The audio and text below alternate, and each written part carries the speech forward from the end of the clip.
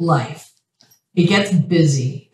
And how do we balance career, family, you know, life in general with joy, authenticity, and mindfulness? I am so excited today to be here with Elaine Smookler to talk from her experience being a psychotherapist, a mindful meditation teacher, and all things amazing because I really feel like we've had such great connection that she has so much to share with us, so much to give, and that knowledge we're sharing with you.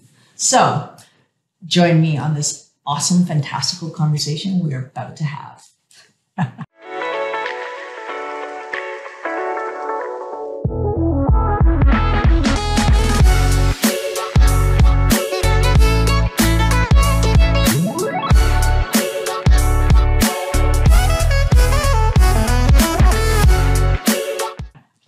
Elaine, Li. thank you for coming.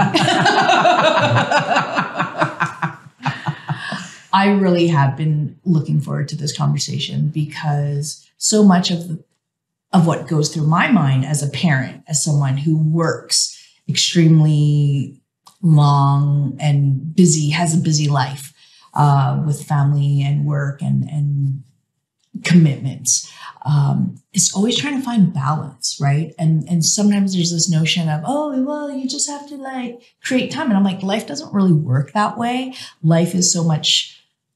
It, it, it's not a 50 50. I just don't believe that. And so I really wanted to have an episode where we could talk about how do we live authentically? How do we live whole as, as like bringing our whole selves, but also in a way where we can honor the things that we want to do and recognize like there isn't a nine to five. Like I've never lived my life in a nine to five way. And to be honest about that while finding balance, right? Like, and balance isn't like the 50 50, like, that's what I wanted to talk to you about. Okay. Good luck to us. Yes, good luck. so, in you, can you share a little bit about your awesomeness? well, actually, first I'd like to start and just touch on that word balance since you brought it up already. That, as you pointed to, I think that's a really tricky word. You know, and I think it a sort of a sneaky word. We we can trick ourselves into thinking, as you were pointing to, this thing this thing called balance. Oh, it's going to be this much on this side and this much on this side. I'm going to have this much sleep. I'm going to have this much water. I'm going to have this much yoga. I'm going to have this Yeah. much yogurt, and then it's all going to be good.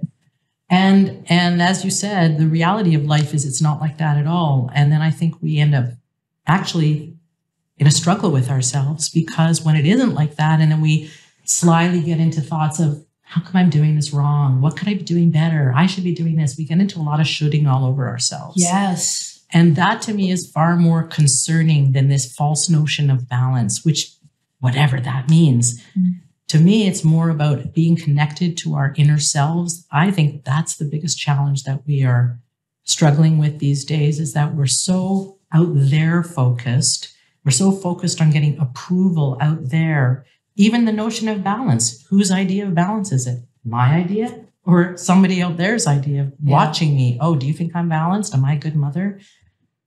When we begin to train ourselves to feel more connected to our own experience and be our own best friend and start to recognize moment by moment what do I need right now? That's what I call balance. Mm. Balance is knowing what do I need right now? Do I need a hug? Do I need to go do a lot of work? Do I need to cuddle with my kids? Do I need to watch a really crappy show on Netflix? Like Yeah. whatever it is, it's not a rule. It's more about riding that wave with self-trust.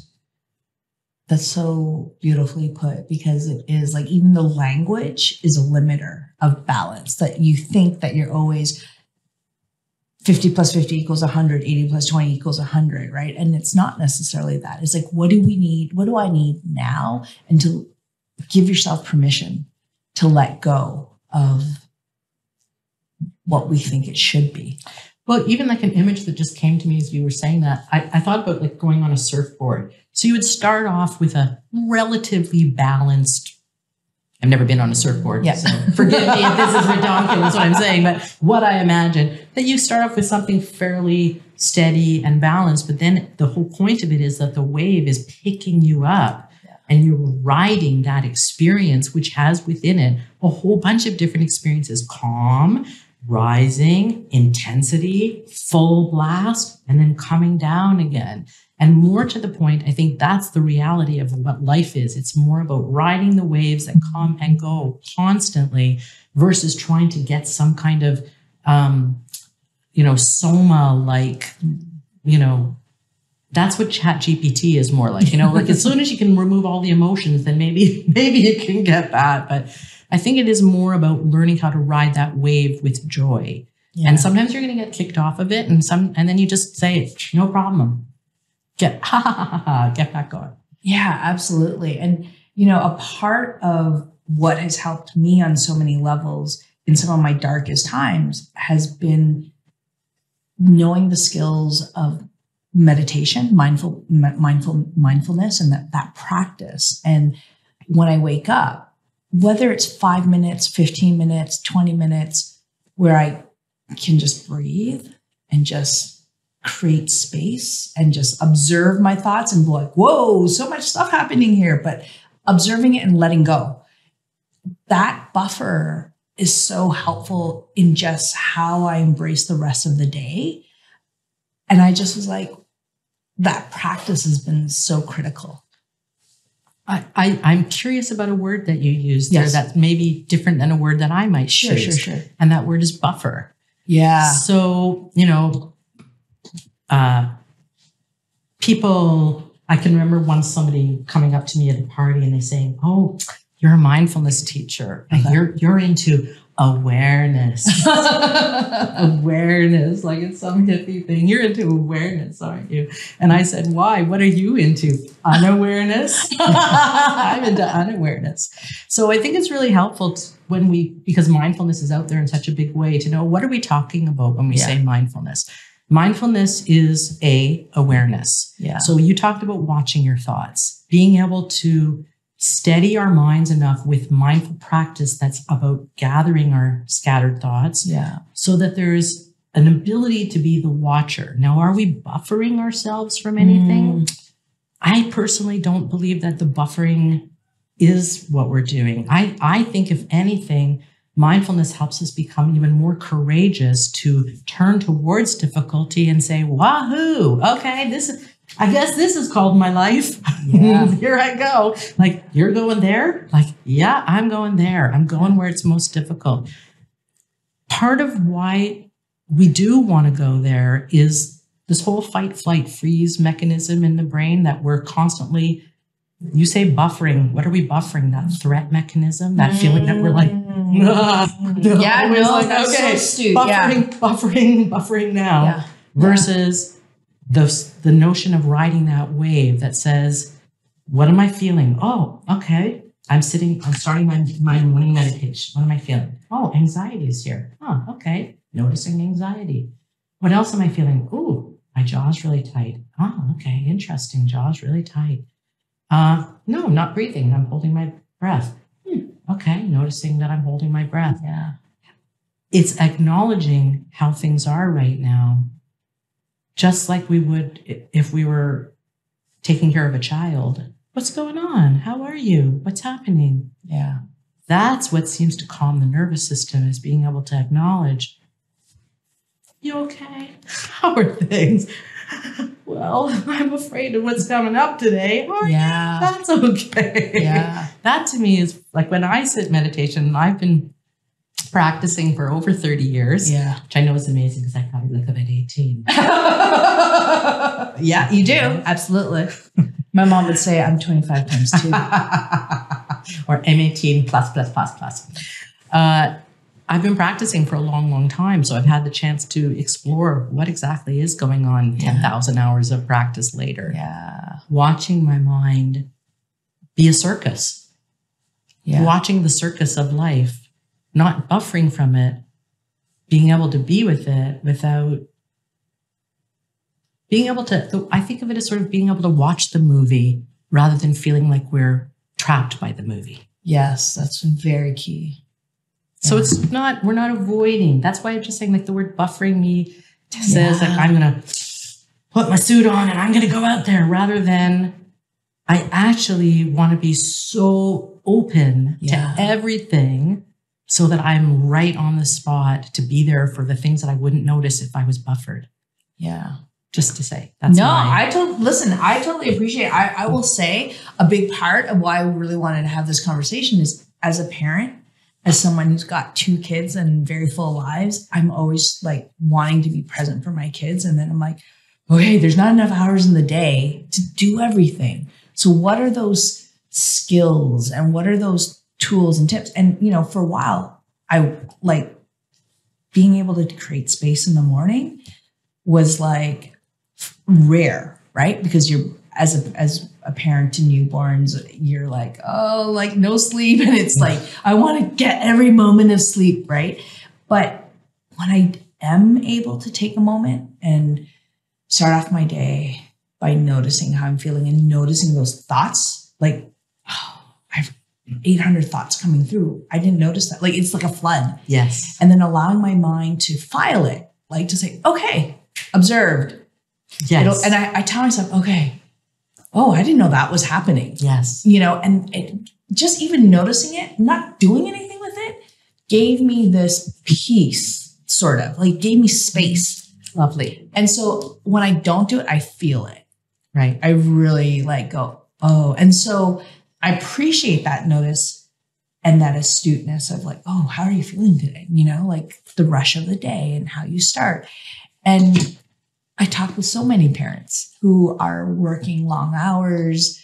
And when I say working, it's not just work, it's like life and all of the, you know, things that come with it. And I was like, it would be really great to think about tools, tips in terms of how you can fold it into your day to day so it doesn't have to feel overwhelming. So it doesn't have to feel like I'm I'm just like getting by because I think there's so many parents who I know and so many people who I know in general who do feel like that. And and this the pace of of time people are are rushing the way people drive, the way people consume media. Even like, you know, had a conversation earlier with someone who said that, did you know that in music they're moving the chorus up sooner so that people can get to it?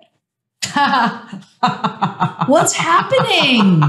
It's a time warp. Like, you know, like, like, like I just almost feel like if things are spinning faster and faster and we're hamsters on a wheel, we need to stop that. Like maybe stopping is not going to be realistic, but how can we build in things to help us? And I don't want to say balance, but to find that peace or to find like being present. Well, you you said stop a couple of times, and there's although of course nothing stops. Yeah. You know, that's just not nature and everything is on Yeah. is constantly on the move. But there is even a practice called the stop practice that sometimes we use in mindfulness as a way to do what? To anchor ourselves in the present moment. So let's come back to something you just said about what's going on with people when they're super busy. First of all, it seems to me that one of the things that happens is that we get super involved in the doing mode. And you might think, well, of course we're doing. There's a lot of stuff to get done. Of course Yeah. we're doing.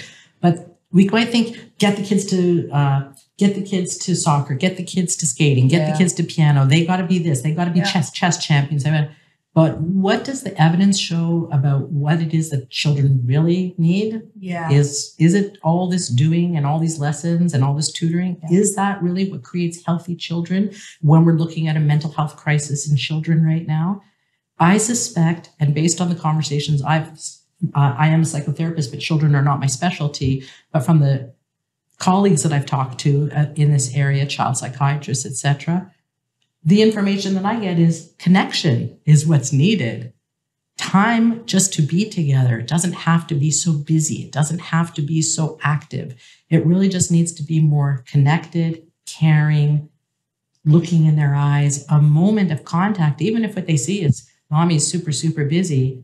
But if they feel they're not just sending them from lesson to lesson to lesson or Mhm. this to that, Mhm. but there's a sense of connecting, Yeah.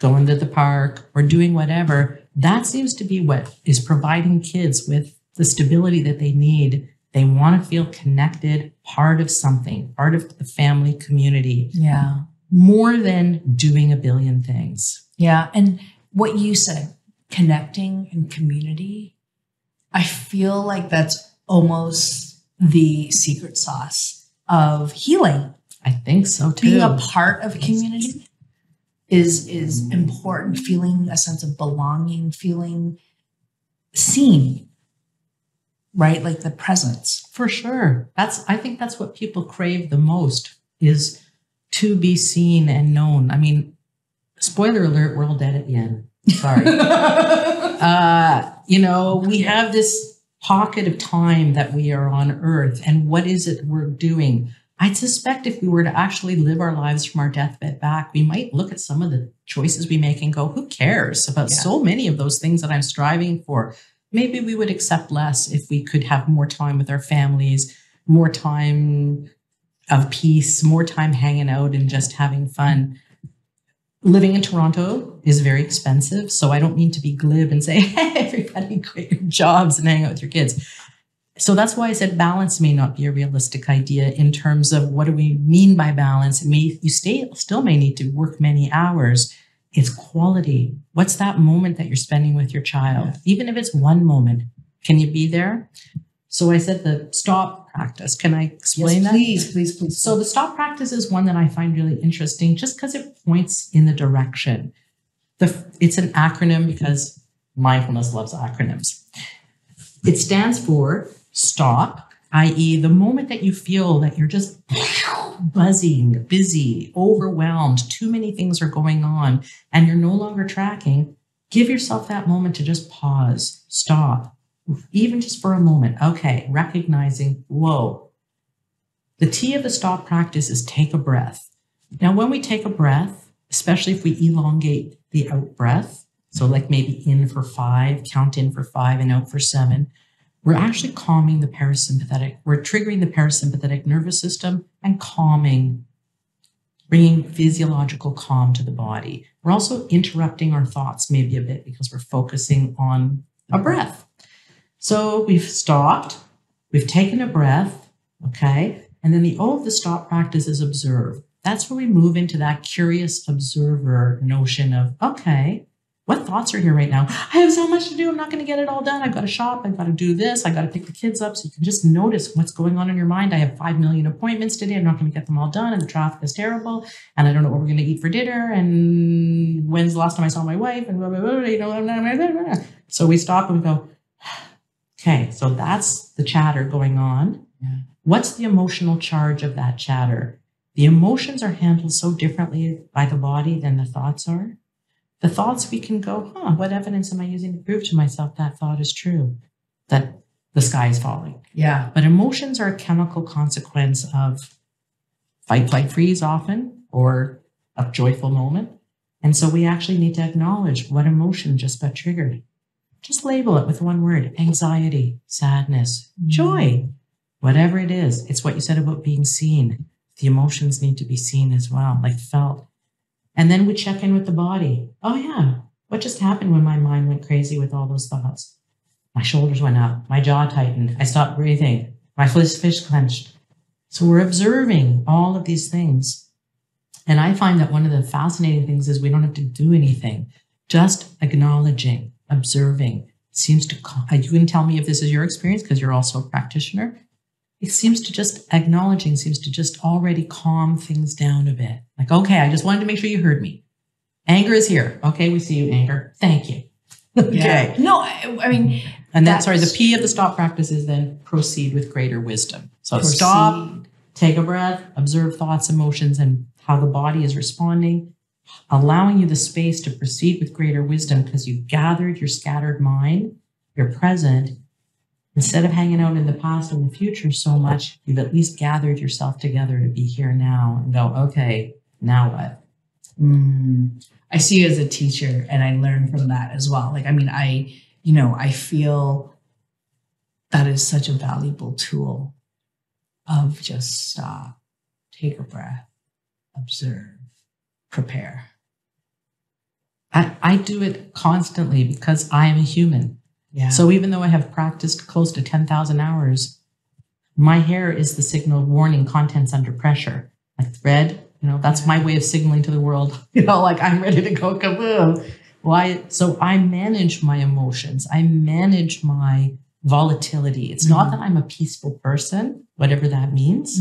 I'm a Mm. person who Mm. has a wide range of emotions, but I am able to be there and meet them before they do damage to other people.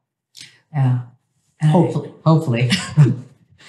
I, I think that that is so important and so relevant, so timely. Because if all of us could take that, because I feel whenever I go out and engage, like, you know, I'm driving and you see people how they drive or they cut off and they speed ahead and you're like, wow, like it feels like people are just moving so fast. like on autopilot, right? They're like, you can feel like going on in their heads and they're just like, and there's something where when i when i used to teach and we would go into the classroom and students there would be this energy mm-hmm. i'm like whoa everybody there's a lot of energy happening right now and i would say can we just take two minutes to breathe nice. and i literally i every single time i've done it i could feel the electricity in the air go go and i think they could feel it too Mm-hmm. and I remember like, okay, like we just need to like stop. I mean, I didn't know about that acronym, but like that's just sometimes I would have to be like, okay, I just need two minutes. Like I don't, you know, I just need to just take a deep breath and just take 20 deep breaths and then go. Like if, you know, people are time like limited for time, but I always felt that really helpful. And when I did that with the class, I just remember people like, oh, and then they could be present. And that that's the one thing, like people being like zombies. Well, let me, if, can I just point to something around please. that? So if you imagine that, does it make sense to you that you, most people you meet spend a significant amount of their time thinking about the past or the future? Like Exactly. catastrophic thoughts about the future, or what am I going to Yeah. do later, or some sad thing that happened in the past, or some way their parents hurt them, or some Yes, yes, yes, yes. painful thing, right? So my experience is most people, many people do not spend a lot of time in the present. Yeah. And that our thoughts are amazing time travelers, which is Mm. great. We're not here to vilify the mind. Lovely. Good work. Um, but there are consequences to hanging out in the past because it's usually the negative. It's not usually, why does everybody think I'm so wonderful? Right. Yeah. Why yeah. did everyone think I was so wonderful? And I bet you everyone's going to think I'm wonderful. It's generally not what people think, especially if their mood is low. So our thoughts are usually focusing on the negative, and we're triggering all these negative chemicals and etc. You you you're inviting people to bring their attention to the breath. So what's whether you, you know it or not, one of the things that you're doing is you're inviting them to take all of this energy that they're feeding these whirling minds, going, now what's going to happen, blah, blah, blah, blah. And you're saying, okay, I want you to pull some of that. And instead, I want you to feed something that's only happening in the present moment. It's called breathing. So for that two minutes, they're just right there, if as much as they can be, even if it's only for two seconds, because they're Yeah. mostly thinking. And that they're just there feeling their breath and even taking that little tiny break from constant thought can be enough to dial down our nervous system. So there's so many things about anchoring attention in the present. I think sometimes people get confused about is the breath some mystical, magical thing? Yes, it keeps you alive. Other than that, you might want to keep it around, but Absolutely. but it's also like a way for us to just land in our senses Mhm. which are only experienced in the present. If we could be more in our senses, taste, touch, smell, whatever it is, then we're here for longer and more able to work out the problems that are needing to be handled in the present. Mm. We're, we're gathering our energy instead of splitting it into three. Like, no Yeah. wonder we're so exhausted. We're living the past, present, and the future all at the same time. It's so true. I mean, you're, you know, as a psychotherapist, as a mindful meditation teacher, and life coach, like you bring so much like into each moment. Uh, I care deeply about being alive and wanting to actually have a life before I'm dead. Yeah. So I would say that what I do is I try to I try to live as much as I can and live from my deathbed back so that I say to myself every day, if this is it, if this is all I did, if this is all I got, I feel okay. I did well. I, I'm happy with the choices I made. I did the best I could. That doesn't mean that I don't stumble or I don't Yeah. do things that I regret or say things that I Mhm. regret or have thoughts that I it's just I think it's helpful to remember we're just people trying to live our lives as Yeah. well as we can, all of us. And when you say that, I was just, as you were talking about that, I was thinking about all the many lives that you have led and all the many jobs that you have done. And there's a, like, one of the reasons why I'm also really excited to talk to you about is you have lived such a full life. You've done so many things that so many people are like, if I just did one of those things, that's off my bucket list, right? Uh, but but you you for many people who I know who are very career driven or who are very much focused on professional success, you've actually done, you've reached the highest highs and you've gone, okay, I'm going to try something different. And you do this like, okay, 360, literally, or 180, where you're like, okay, I'm going to try something different. Um, and I, I thought that if there was any insight or wisdom into that that journey of professional growth and and and learnings. Well, we're we're talking about it from many different angles. Like first of all, I view mm-hmm. life as a giant banquet table. I may have said that to you on the phone. And and I want to taste as many dishes at life's banquet table as possible. Like that's my personal experience of life. So mm-hmm. part of why I've had so many jobs is that I'm just so hungry for experience. So as soon as I get good enough or you know high enough in a job that I feel like okay, I got it. Then I'm like, okay, next. Because I want, and that's one of the things that you and I connected with when we were talking on the phone was the fun of, of this many minutes on planet Earth. What do I want to do with it? So I, I, you know, I've been an actor. I've done, you know, I've been on screen. I've done lots and lots of commercials. I've been on boards of directors. I've, I've uh, been cleaning lady. I've been uh, a producer. You know, I've been like, I've been. I, I, I've, I, I think I, I told you I had like seventy five different job streams. Yeah. And and it sounds ridiculous, except except I actually counted them one day, and like I I produced a bunch of shows, like hundreds of shows, and I've done so so so many different rich, really rich things, and and they've really. I worked in a pulp and paper mill with thousands of men. I was like one of a hundred women, and there's like ten thousand men working as a laborer in a pulp and paper mill to pay my way through university.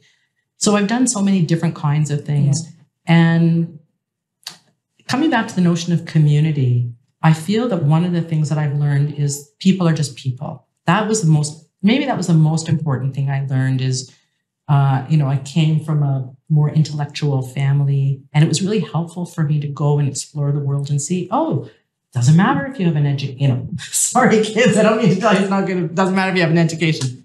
Cut that part out. It's not the only thing. There's millions of ways to get education. You can get educated by life. You can get educated by experiences.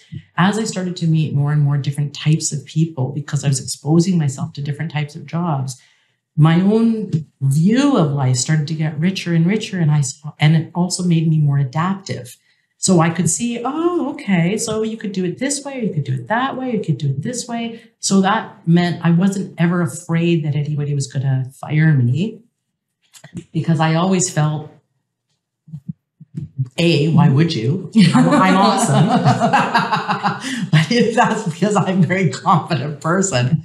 But B, my feeling is, oh, I'll go and figure it out on my own. Like I'll start my own company, which I've also done. Yeah. I've, I'll start my own company or I'll go join somebody else's company or somebody will headhunt me. Like I've always found my attitude is a huge, like when I coach people, I'm trying to explain to them how much the energy, I know that's sort of a woo woo word, but when I say energy, I mean, I said, have you ever walked into a room and you can see who the most powerful person in the room is, even if they don't speak?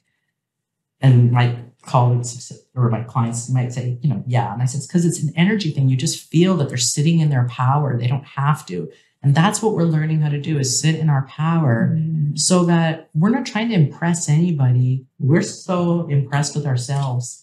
I don't mean in a big ego way. I mean, like, you're just like, hey, you're like, I like you myself. are all that in a bag of chips. Yeah. and I find that the more positively I view myself, Because who knows me better than me? My experience is people follow suit. If I think I'm amazing, who are the people to deny that? Yeah. like, Yeah. it's like if I don't think I'm amazing, I feel like people see that right away. They see it in my eyes, they hear it in my voice, they see my hesitation. So, part of what I recommend to people is be confident about what you bring to the table.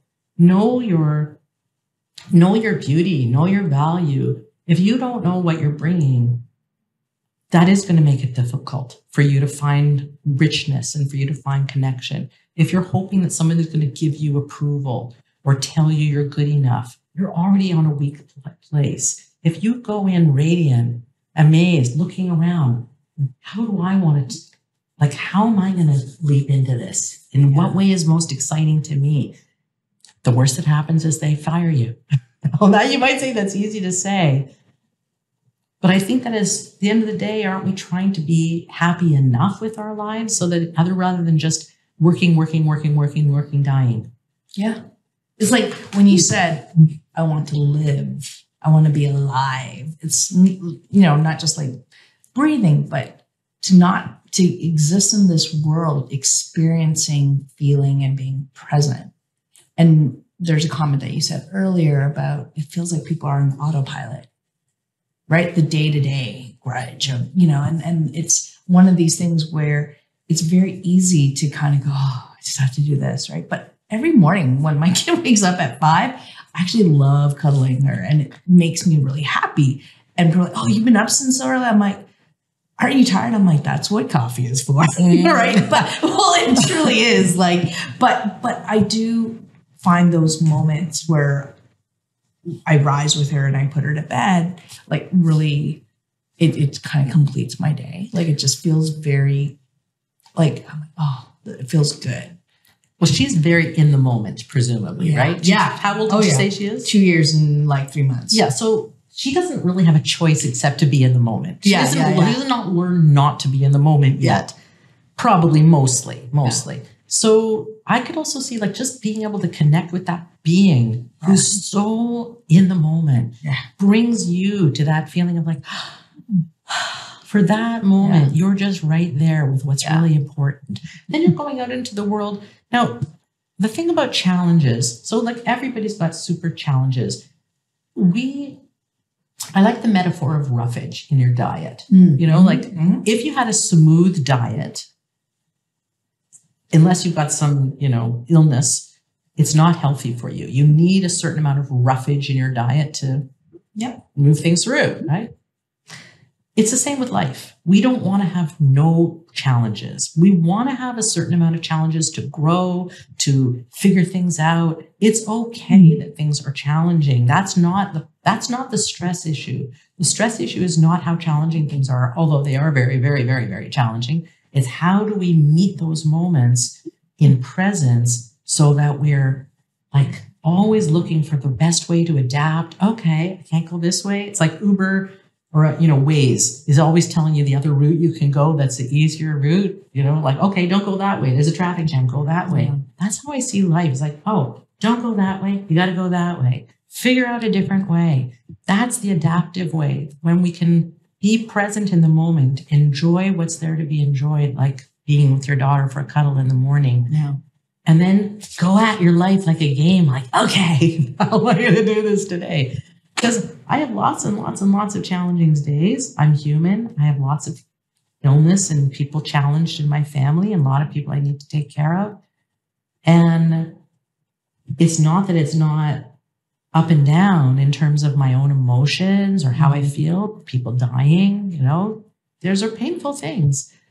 But when we stay close to the moment, then we're really there for the people. You're there for your daughter. You're not going to look back when she's 10 and go, oh my gosh, I missed one to 10.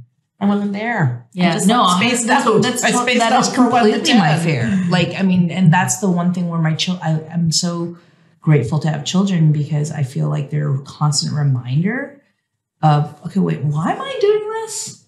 Does this really Right, matter? Like, it really, like, I think it was a game changer for me in a positive way, having kids to go, oh, right, they they are an honest mirror. They can't help it. Like, and I'm like, oh, you got me. like, you know, and I'm like, okay, brutally honest. Yeah. Yeah. Yeah. It's, you know, it's, it's wonderful. And it also shows us what we're holding on to because if we feel that pinch of ouch when someone is honest, it's for me, that's what I look at myself and go, oh, that's interesting. I must be holding on to something there, or it wouldn't hurt so much that that person said that. Thank you. Mhm. It's very Like, humbling. was showing me Yeah, yeah, yeah. Oh, yeah, yeah, yeah. You're like, oh, that was like sucker punch. Yeah. Yeah. No, and I I feel really humbled by that. Like I feel like there have been moments where my kids have been the teacher and I'm like, "Oh, right. Let me just think about that for a moment, you know?" When I, I I feel like I view everybody as my teacher, Absolutely, a 100%. right? Like I think I really do go through life being curious about everybody, Yeah. even if I just have a one second encounter with somebody. I always feel well, I have the choice to be present and connect with this person even for one second if I'm able, or I relinquish that choice because I'm too involved in my mind. Mhm.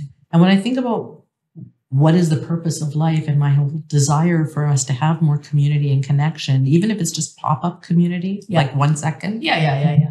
I feel it's about like constantly just checking in, hi, friendly, you know, saying hello, whatever, not being mean, all Yeah. of that stuff. That's been an absolute common thread that I found, like not being being kind, being aware. Just like, I mean, not being aware, like you're like, ooh, like, but just like, hey, how are you doing? Like, I notice you, like noticing feelings. Like, and that's a conversation that I've had with so many people. And I wanted to talk about, you know, when you said about that power, like, oh, can you see who's the most powerful person is in that room? And to relate that to the self. And you, we talked about like confidence, like when you feel good, you know, it exudes and people might not even know it, like it's unconsciously uh, presented.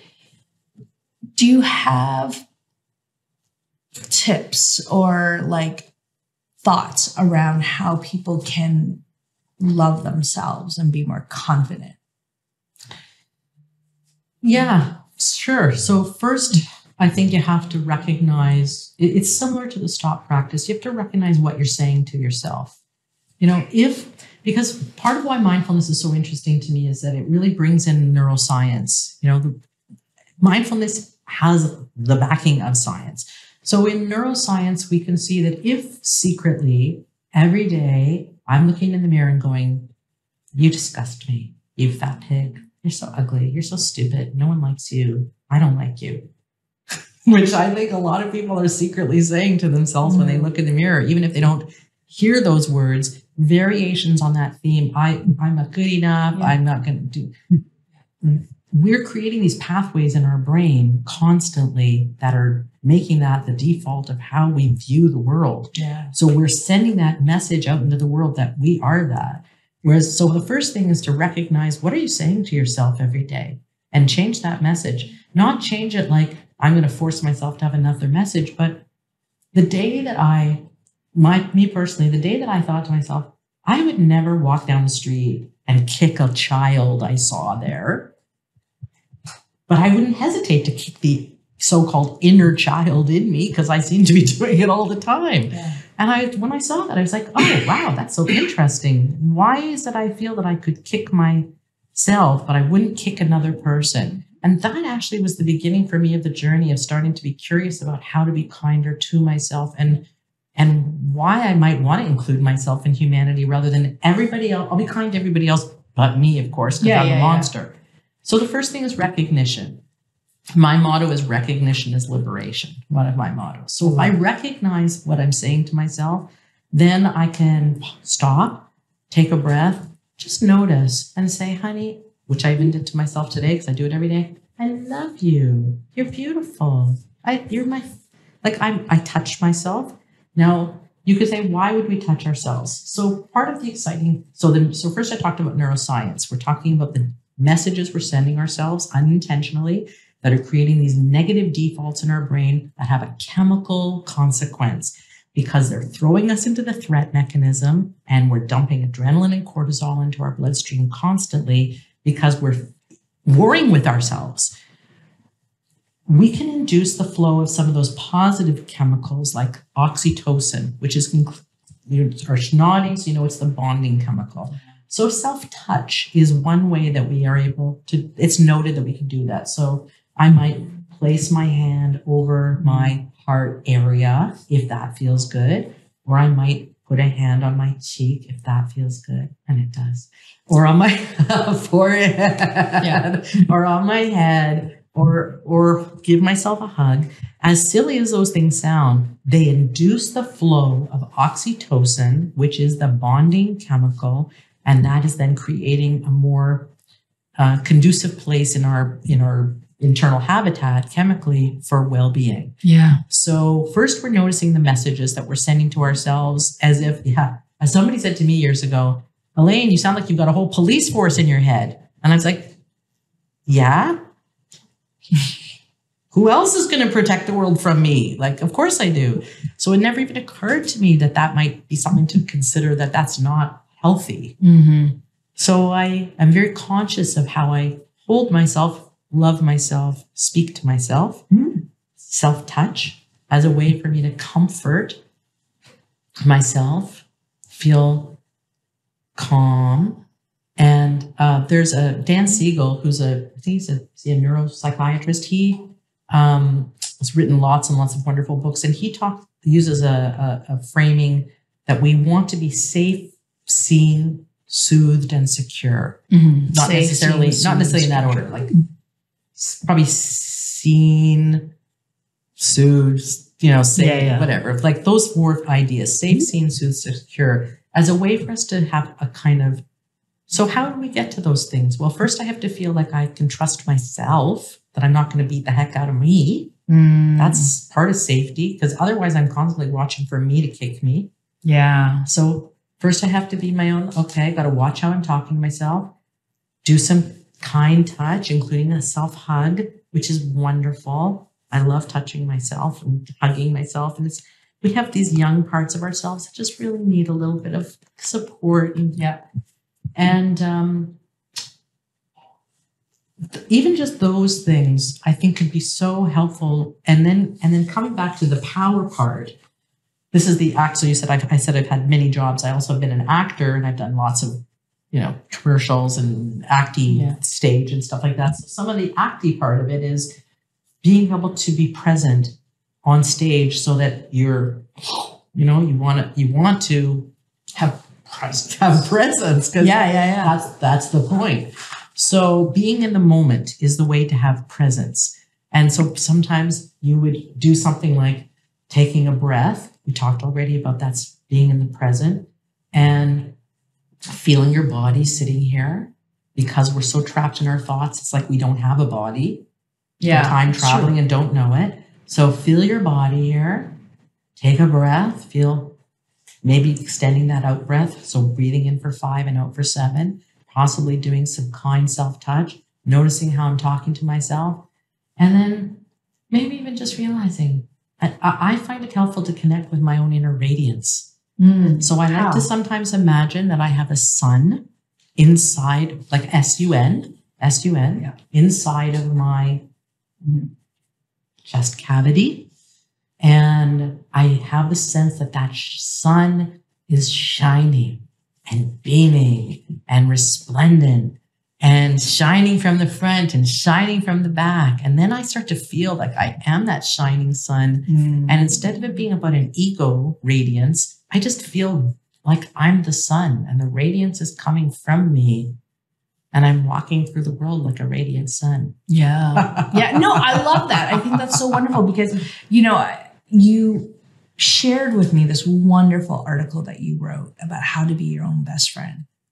I've shared that with so many people. I'm like, oh, I'm this is such a good article. Nice. It's so great because there were so many, like, not like huge moments, but like things that people would say, and I'm like, you need to be your own best friend. Mm-hmm. Like you just need to like be kind to yourself. And I don't think that's like woo woo or hokey because I actually believe that that that it's easy to have be that negative rhetoric going through your head and we have to stop it. And there's a chemical consequence to that negative negative like when you say woo woo look at the science. The science is if we feel under threat even from ourselves the threat mechanism was there to keep us from being eaten from a li- by a lion as it were you know? Mm-hmm. But it doesn't recognize a psychological threat as not one that requires the muscles to shorten so you can run Yeah, faster yeah, or adrenaline so we're living in this threat which is stealing all the nutrients we need to thrive. That's just the way the body operates. So this is chemical,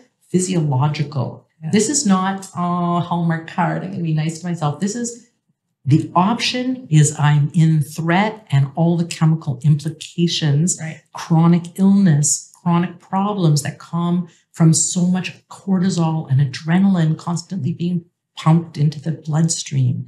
So even if you don't like the idea of being your own best friend, you could say, be your own best chemical plant. yeah i mean like you are what you think you are it's like the saying of like you are what you eat but this is really the science behind you are what you think because it's the laws of attraction in so many ways like I always find it so interesting. Like, whoa, how did that just happen? Like, I just put that up. What? Like, you know, it's like, is it magic? It's like putting it out there and then something like a miracle, short of a miracle, but something positive will happen. Like, there have been so many situations where my mom's like, just have faith and just believe. And I think whether that's a spirituality, you know, um, or, or however one wants to interpret it, but I will say I am a believer. Like, you know, when I've had a thought, I'm like, okay, what if we could make it work by doing this, this, or this?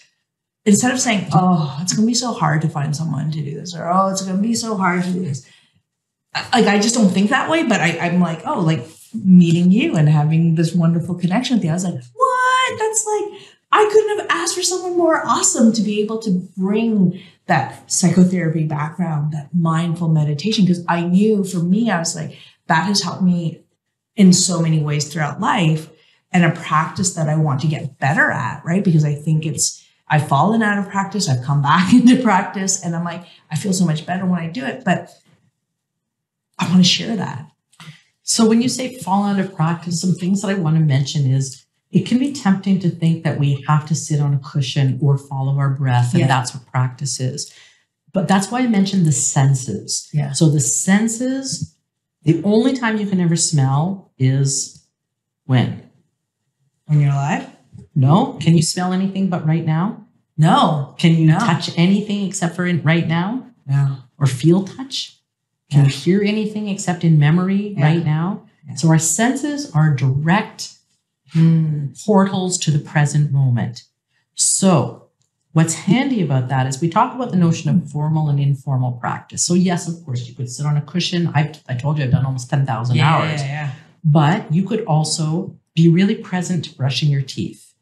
You could be in the Mhm. shower and feel the water on you. You don't have to add extra time. You could have your cup of tea. Yeah. I didn't get a cup of tea, but because I was afraid I'd have to pee too much, but spoiler alert.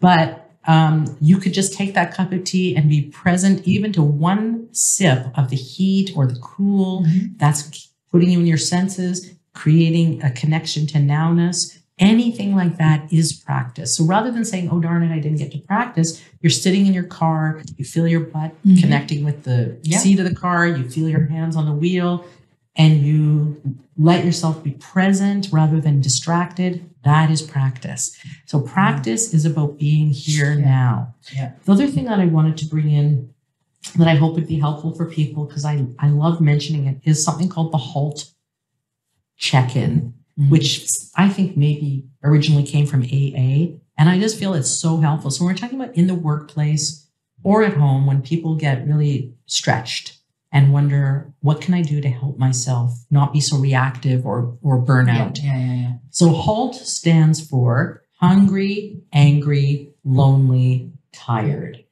I feel this is so crucial. I teach it everywhere because before you try to do meditation, before you try to do anything else, before you try to do anything else, you could ask yourself, when was the last time I ate? Oh, is my blood sugar low? Because if it is, I'm going to be out of it. That's got nothing to do with meditation. Yeah. do I already feel distressed about something? That's the angry. Did somebody Mm. already? So I'm here talking to you, but meanwhile, I just had a conversation with so and so, and I'm sitting here and I'm like, "Ah." it's nothing to do with you. I'm just Right. carrying my anger from a previous or my strong emotion. So just noticing, oh, okay, right. This is not a fresh starting spot.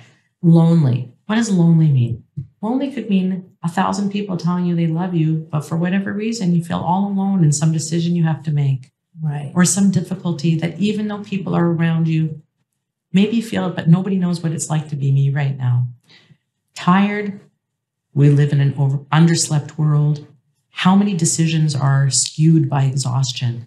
Yeah, that's fair. So just ordinary, hungry, angry, lonely, tired. I think before you get any trying to do anything fancier than that, start there. yeah. No, and I think stop and halt. Yeah. right? Like I think the two takeaways I, I are, are really helpful because I've so many times where you know in my family will be like, "Are you hangry?" right. Right? Like that's our term. Like, did you eat? Hold on, let's stop before you have that critical meltdown. Did you eat? Oh, oh no, I already. And and I think that is really halt being something like every day we should be thinking about. Oh yeah. Because think Yeah. of how many difficulties we get into with each other where we want to process an emotion Mm. that isn't really about this. It's Mhm. really just like I'm overwhelmed or I'm underfed or I'm underslept, but I'm gonna but now you're in my sight. Yeah. So I got you in my Like, sight. so you're the You're one gonna get like, it. You're gonna get it. Yeah. And our partners are often those people. Yeah. You know, the ones who we feel, okay, well, you're hopefully not gonna leave right away. So Yeah. You're right there. Yeah. So it's it's you know we're again awareness is really just why would we choose unawareness? What's so good about unawareness? Unawareness means being spaced out and autopilot. What's significant about that is when so some people might think of course I live in autopilot. I have so much going on. It's easier for me to be out of it and just get through my day. Mm-hmm. However, when the evidence suggests that when our mood is already low, Yeah. if we're hanging out in autopilot, it's not neutral. It's defaulting to the negative. It's not just like Mm. I'm spacing out, I'm in neutral. It's like I'm spacing out, and that seems to be a very conducive place for like, why does everybody hate me?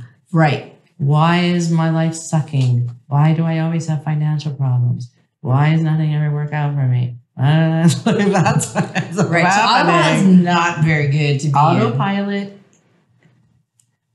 It's helpful to be able to do some things, but if we are lost in autopilot, then we are more susceptible to things like depressive relapse.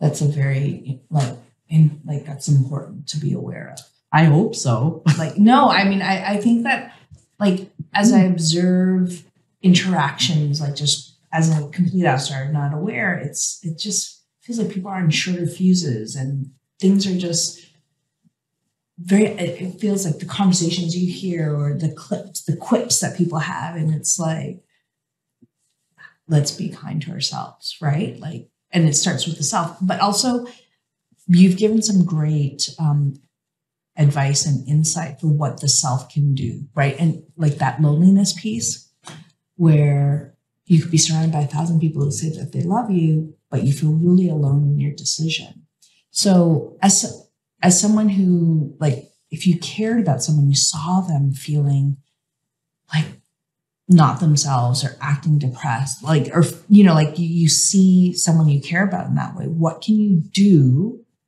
to be to connect Well, you said it earlier, and I thought it was really beautiful. We, you know, part of awareness is, of course, we're aware of ourselves, and we're also allowing the possible, you know, the mm-hmm. reality that there is no such thing as being here all by ourselves because we're totally interconnected with one another. And so, for me to either say the words or find some way to look at you and just say, "How you doing?" yeah like even when I walked in here today, you know, I made I, I asked you a question because I heard you sigh in a certain way, and Yeah, I yeah. so I just asked you, hey, got a lot going on right now, yeah and so I find that taking even one like 20 seconds sometimes just to say to somebody, how you doing? Yeah. Like, or, you know, you okay? Do you need anything? Can I get you some water? Like, it doesn't have to be a big deal, but I, I feel like if we just, oh, I bet you're happy, you know, I bet this is probably a busy day. I bet this is a rough day or like whatever it is. Mm-hmm. I find like there's the tiniest amount of time sometimes that we can, mm-hmm. some stranger calls me on the phone. Like I always try to recognize that person is a person and this is a moment for connection. Yeah. This is there's no non-moments of connection. Every moment is an opportunity to bring kindness, even for a second. The value of that is not only does it make the other person feel usually feel better, often that can change the world and that makes you feel better. Like Yeah. I feel better when I ask you how you are. Yeah. I feel better when I'm not just in my own silo thinking only of myself. The minute I check in with you or anybody else around here, all of a sudden I am part of a community.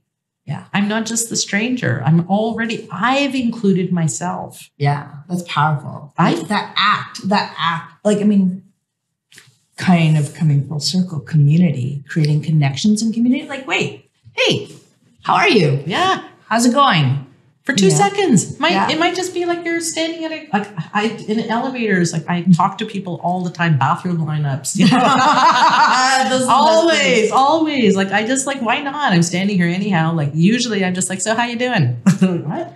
yeah, I know people are like, "Ah," but it- this is the thing. Like, I actually, oftentimes in spaces, you look at people and the phone becomes a bit of a crutch. Sure. And I'm like, I try to put my phone away. I'm like, hey, and then it's like in lineups, I love chatting with people because it's so interesting. it is It's like, oh wow, that's so cool. Like, and it's I'm curious, right? And I'm like, oh, that's that's really cool. the beautiful thing about practicing in elevators and lineups is it shows you that you don't, at least shows me, I don't have to give everything. I don't Yeah, have to yeah, make that person my new best friend. Absolutely. So rather than thinking, oh, I can't possibly connect with people because I don't have the time, it's like every day I'm doing things and bumping into yeah. people. And if I'm, if you think like molecules, if I'm bouncing off of you with a bit of a smile or some friendliness or a hello, or I'm looking at you, Yeah. instead of you feeling, I, I see people, people tell me all the time, oh, you really made my day. Now, I'm not, it's not that I'm trying to exactly make their day. I'm trying to be part of this community that I believe in. Yeah. Because if I'm not creating it, how could it exist? Yeah. Like I want it, but I don't want to be part of it. Yeah. How does that work? no, I absolutely. want You to have can't be community, like, but I don't like make it happen. Yeah. Go ahead, make it happen. Could you? Like Yeah. I am feeling well. If I want it, I it's up to me to make it happen. And then I find It's that life for me, when friends come out with me, it's pretty funny. I said it's like a movie, right? And I'm like, yeah. I said because everywhere I go, I talk to people. They talk to me. I'm smiling. They're they they just want to interact everywhere. it's true. It's just right. It's just true. like then you're just like having fun going through life, even when it's Absolutely. difficult. You're Oh, sharing the pain. yeah. Oh, the fire. Oh yeah, I know. Are you okay? Stay safe. Okay, thank you. You too. Uh, yeah, no, it's but this is a part of why like I really appreciated our connection because I think that zeal for life of just connecting. It's a check-in and it makes it enjoyable. It makes starting new career paths, starting new journeys, new chapters really like, oh, it's a vignette, you know, and and connection. and and coming back to the surf metaphor. So you know how I said like it it starts here and then it Yeah. rises. So beginnings and endings are like that too. So let's say I've started all these different jobs. Of course, when I start, there's that awkward. I'm the new person. Yeah. I don't know anything. Yeah. Nobody knows me. So it's it's not even a super extroverted, friendly person like me still has the same issues most people have with beginnings and endings. You know, we all so if I could notice that, okay, I'm starting something new so that I want to be really kind to myself and make sure that I know this is this is I'm a bit anxious or I'm a bit nervous or that's okay. So be kind to myself. Recognize it's normal to be a bit nervous, Yeah. something new. Yeah. And ending, you know, maybe we're going to feel a bit heartbroken or like I don't want to say goodbye to my co- or my company got sold and now we're not you know, and I don't want to say goodbye to those people. And so I think it's also important for us to acknowledge our humanness by feeling our feelings. And that includes sometimes sadness is here, sometimes joy is here, whatever it is, we're staying close to the human experience so that we are not automatons. Yeah. And Absolutely. it takes courage because then you're alive to life's technicolor. And on one hand, it is intense because the vividness of life is very intense. Yeah. But compared to the dullness and the and living this, I, I just don't see how you could compare it. Absolutely. But I uh, think uh, everybody has to choose for themselves what what their tolerance is for how much they can handle. It's true, and that's all contextual. But I think the the nugget stop and halt. Um, Sorry, those both sound so negative. No, no, but stop and halt. but That doesn't sound very they breathe life. They breathe life and community and connection, right? And and it's just an observation and and an awareness um, of of self and relation to others, being kind to yourself. Like it actually starts when we, you know, you see lots of people with these shirts, like be kind. Well, be kind to yourself. Let like be the mirror. Be kind to yourself. Um, so one of the things, obviously, that we've kind of talked about is being red and you know the like the color the passion the you know like you have this beautiful bro- necklace brooch that i think is a heart right Yeah. like I love it um, because I want to tie it into your favorite quote, which is the greatest thing you'll ever learn is just to love and be loved in return. And it's from the song Nature Boy, uh, which is a lyric written by Eden Ahbez for uh, the jazz standard Nature Boy, and actually comes like was made famous by Nat King Cole. I love Nat King Cole. So I just thought this line is really great. Do you want to talk a little bit about that? Sure. Okay. So I'll I'll share a difficult moment in my life that brought that awareness of that quote because there's a million quotes that have come my way. My um my husband died a few months ago unexpectedly. And you might think, wow, I'm laughing quite a bit considering that. And I uh when at the as I helped create the funeral, I was really asking myself what and I was with him for 25 years. What is it that what is it that feels most important to me from our wonderful 25 years together? There were a lot of people at the funeral. My husband used to be a comedian. And so one of the things that I noticed was just community, Yeah. the importance of community and love, connection. And and I the deeper that I went with what it is that really like the thing about death that's if I dare say beautiful, is it really distills things. You get rid of a lot of things that you thought mattered don't matter anymore at all. So love really, it really made me curious about what is love and what was so important in my journey with my husband was that every single day we laughed together. Every day there was, we didn't go to bed angry. You know, we, we didn't nurse negativity. You know, it's not that we didn't, you know, me especially, I'm a fiery person, but I didn't I didn't nurse it and I didn't hold on to it. And I really saw that the greatest gift that I could give myself or anybody period was just the act of love to be able to love someone to also be able to let love in. Sometimes we're good at loving, we're not so good at letting ourselves be loved. It can be hard to be loved. It makes you feel really vulnerable, especially like my husband died. You might think, well, what good was loving? You know, like I got hurt. I got hurt when he died. But I see that without love, what is life? What are we doing all of this for? I, I appreciate the juiciness of love. I see, I know I appreciate a beautiful mind. I, beautif- I appreciate beautiful actions. Where is it all coming from? For me, love is the essence of what you and I are talking about, Li. We're talking about caring for ourselves, caring for each other, caring enough to be awake to our precious lives. Mm. And that's how I'm using the word love the love of being here present to this very short journey Yeah. and immersing ourselves in it. And that's that's really where that comes from. Thank you so much for sharing that. it's very, it's beautiful. I mean, everything that we have had the opportunity to connect on, to talk about, has just been full. It's been wonderfully full. And I appreciate everything that you've shared. And I love the fact that red is your fiery hot color because it's also mine too, as you can tell. Um, and remembering to breathe.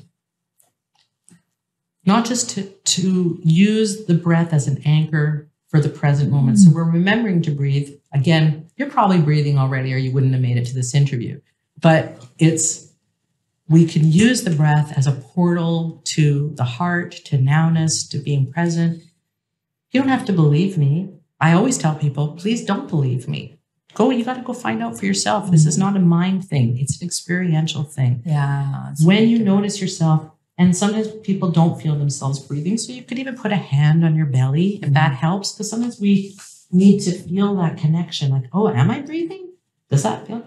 So we can feel the breath coming in at the belly or in the rib cage or the sensations in the nose, mouth, or throat. And all of those things can be what brings us back to a, even a second. A second of nowness can be enough to interrupt our stress Yeah. and bring us back to love, potentially. Love manifests itself in so many ways. As I said to my brother the other day, at this point in my life, I'm only about more love. I'm never about less love. And when I check in with things coming up because life is difficult and we're filled with all sorts of challenges in the world, I just remind myself all the time it's never less love that's going to be the answer for me. I can't speak for anyone else. It's always going to be more love, whatever that means. I love that. More love. Thank you, Elaine. Thank you, Li.